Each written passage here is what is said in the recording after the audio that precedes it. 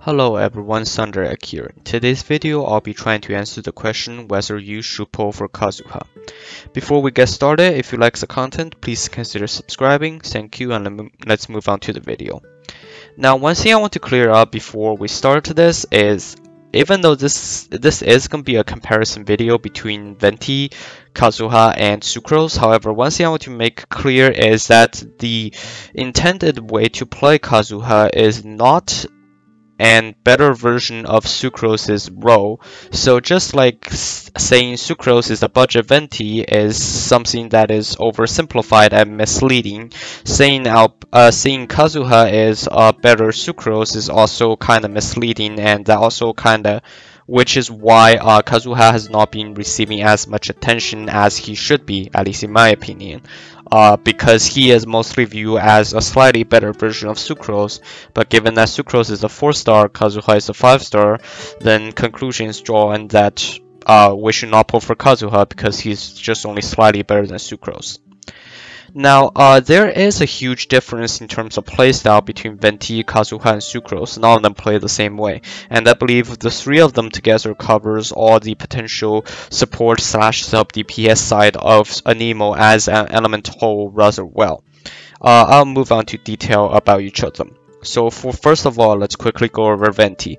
Venti's uh, focus is on gathering enemies for both have both of his E and his Q.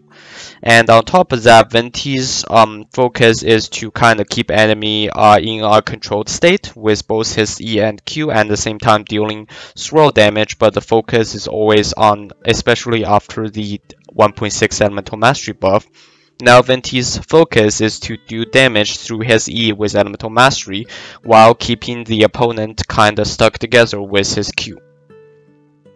Now moving on to Sucrose. Sucrose also gathers enemies, same for Kazuha. They, these two both gathers enemy. However, they don't do it as well as Venti because this uh, is not their character focus.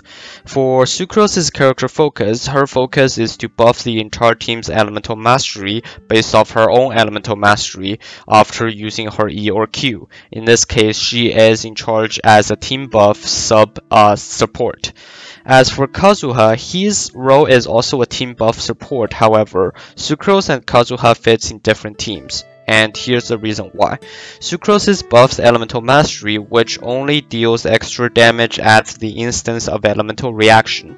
So Sucrose very uh, Sucrose heavily favors team that focuses on Elemental Reaction, so Vaporize, Melt, um, and all the rest of the reactions that deals damage.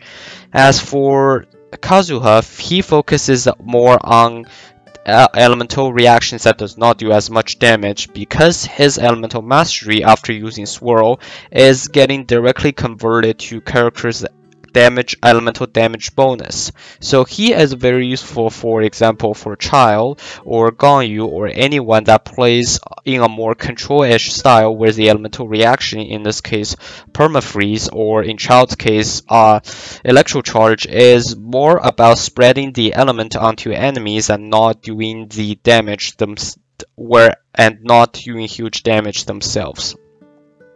Now let's um, put this into perspective with an example. Say for example, uh, Kazuha is going to be a very good uh, sub DPS for Childe, and here's the reason why.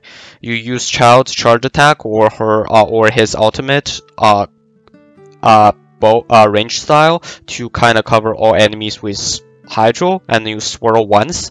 And after that essentially you receive a buff on Childe's hydro damage bonus even further from Kazuha's elemental mastery based off Kazuha's elemental mastery because Kazuha just calls swirl. And now child is able to do more damage. However he does not need to cause any elemental uh, he does not need to cause any elemental reaction even though uh, it is Kazuha's elemental mastery who is buffing Childe this is the major difference between Sucrose and Kazuha, which is why most people least misleading. And then, of course, if you put Kazuha in a elemental reaction as the main source of damage type of team, of course, he has elemental mastery. He is going to be able to do some damage, but uh, it kind of puts it's kind of putting Sucrose's best um, skill against Kazuha's worst skill and then calling Kazuha useless but in reality that is not Kazuha's strong suit. Now with that out of the way, uh, let's talk a little bit about Kazuha's weakness. Um, currently, like Venti, Venti's current elemental mastery build, Kazuha's weakness is going to be energy recharge. His ultimate costs 60 energy, and uh, on top of that, even though, um, according to the official footage shown during the 1.6 live stream, stream Kazuha's uh, E into charge attack combo is able to provide him with 4 energy particles. However, uh, it will still be a problem if he does not bring any sort of extra energy recharge. Now, of course, you can be very lucky and roll into some very good energy recharge substats, but again, it's going to be unlikely. So, um, depending on how the final build comes out, uh, some people might have to sacrifice their uh, sand slot for an energy recharge sands rather than elemental mastery sands. But um, again, that doesn't really decrease Kazuha's damage output by too much because it kind of brings him down from uh, around 1000 EM with a full build down to about um, 800 EM because the um, sand on top provides about 181 elemental mastery. So that is going to be Kazuha's major weakness. And as for the constellations you should go for, uh, C2 is a huge change as a support uh, as a sub DPS because C2 increases his elemental mastery by a lot. Other than that, I would recommend if you are uh, almost free to play player or very low spender, uh, if you are again playing Childe, Ganyu, or anyone that does not focus on damage through elemental reaction, he is going to be a very good character to get for the future, especially because he is a sub DPS slash support, which are rare and tends to kind of keep their value because DPS is swap around so quickly these days.